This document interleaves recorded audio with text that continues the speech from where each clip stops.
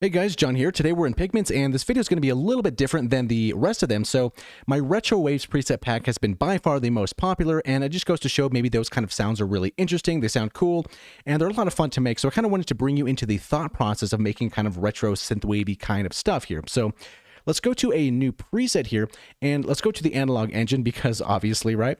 So, we have a saw wave. So it's nice to combine this with a square wave an octave down, something kind of like that, having the square hold the low end and bring it obviously into the mix.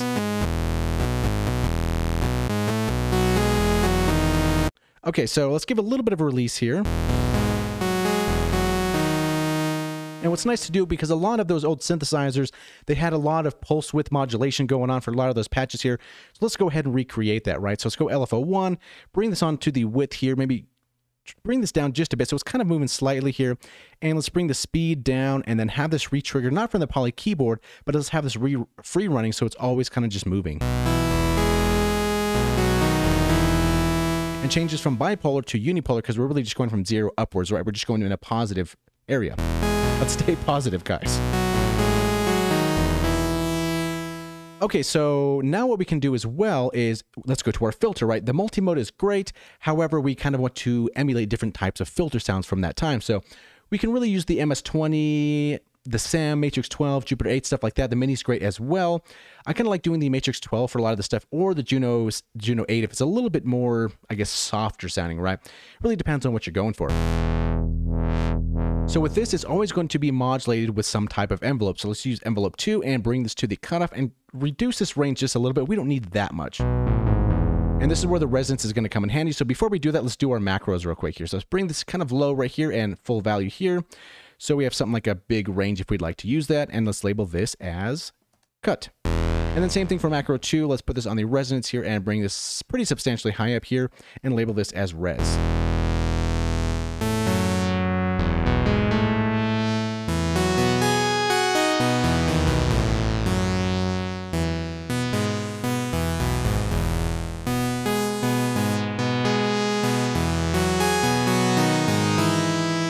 So something to be aware of here. So this can kind of make your patches sound weird if you don't do this, but going into, into our envelopes, if we have a long amp release, something kind of like this, right? Our release for our cutoff here for this envelope is a little bit too fast, so always kind of remember to bring this up a little bit. So we have that filter sweep just a little bit longer so we can kind of really feel what's going on here, and maybe even bring in some more resonance.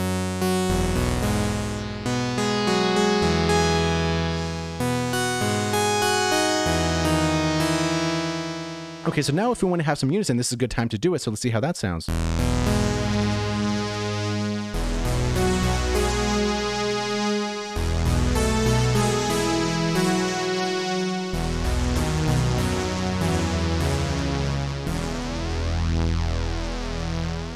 Okay, so very cool here. And something that we also need to keep in mind, those types of sounds were noisy because a lot of the synths were noisy. So we can use over here in the utility engine and turn this one on here for white noise. And instead of sending this to a filter, what we can actually do is send it to the second one. But what we can do is have these split a little bit, something kind of like that. Or we can kind of go like that, and make the filters parallel, depending on how we want to do that. So for this case, we can just drag this knob to the right. So now filter one and filter two are independent. With that being said, let's send some of this analog noise here to filter 2. And sometimes it's kind of nice to have both of these on, so we have kind of a variation of noises, and send it to the second filter as well. And turn both of these down here, and for the third macro, let's select this and drag it to these noise here, and maybe do something like maybe 0.7, it's really kind of up to you, I suppose. And now we have both of these noises here on one macro. And we can kind of mix that into taste.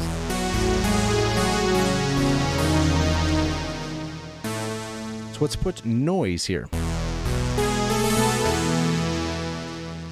And something it's kind of up to you as well, but you can put a sub oscillator here and send this to direct out if you'd like to.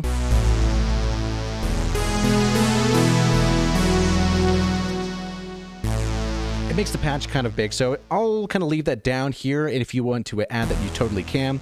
I would usually put that on number three, as most of you know, but we're doing the noise here. So we kind of have to sacrifice little things here. So a lot of the fun also goes into the effects, right? So let's leave the first one blank here for some corrective EQ in the beginning. So right now let's go and kind of think about effects, right? So what did we really have or what did they really have back in this time? We have delay, we have reverb, and one of the most important, we have chorus, right? So before we even get to the reverb and delay, let's bring these down over here. Go to FXA and let's add the, not regular chorus, but let's go for the Juno 6 chorus to kind of emulate that sound. Bring this down just a little bit because it can be a little bit much.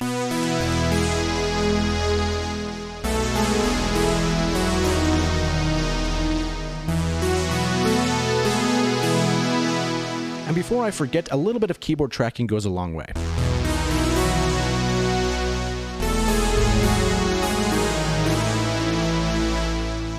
Okay, so we have that here as well, and something that you might know that I do, this is also in the manual, a very cool little tip here, is getting another Chorus Juno 6 module here, and we can always bring down the volume, or the dry wet a little bit, but also changing the phase a little bit.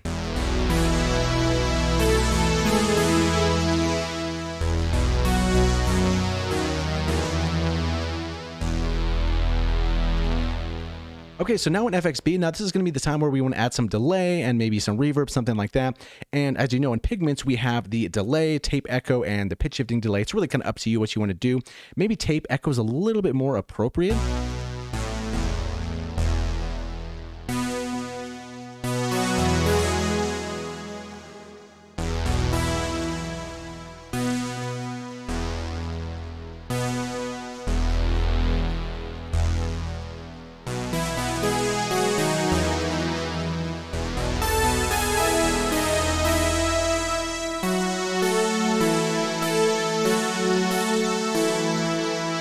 That's always fun to play for that. So now we can always add some reverb here.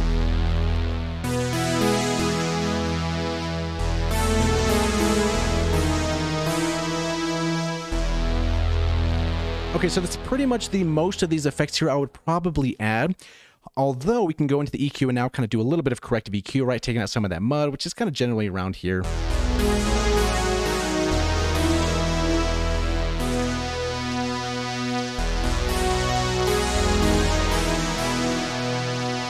Adding a little bit of shelf here just to kind of accentuate that a little bit.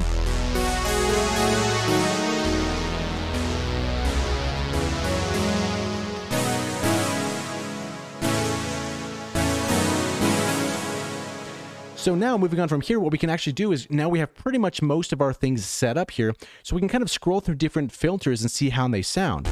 So this is the Matrix 12. Here's the SEM. MS-20. obviously, obviously a little bit more aggressive here. And then we have the Jupiter 8.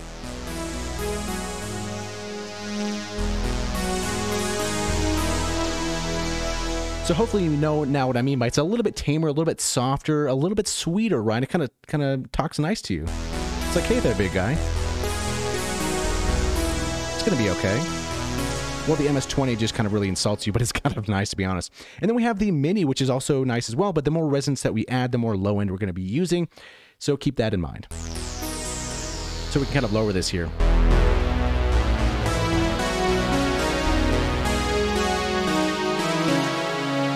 And from there, it's really up to you as far as how much you'd like to change that. For this, I'd like to use the, the Matrix 12 and kind of bring maybe their sustain down just a little bit and also bring our resonance back up.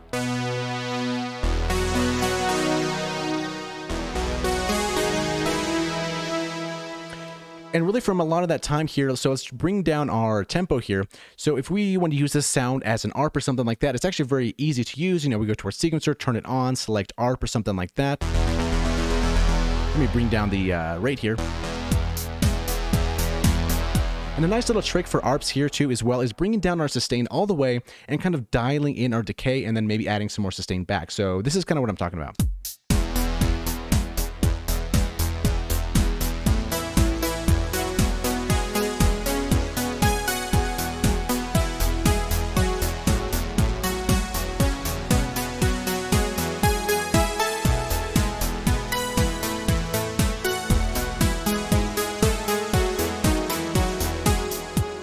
But yeah, so generally that's kind of the th process here. Before we let you go, we should add this macro here to our effects because it's always nice to do. So let's do that now here. Let's drag this over here. This is 21, so 0.21, something kind of like that. And this is 19, which is pretty close, I suppose. 0.19 and then go for our tape echo which is 36% so let's drag this here and go to 36 something like that and reverb's 29% so let's drag this here and go 29 percent here and label everything accordingly because it's nice to be organized and turn this back up here.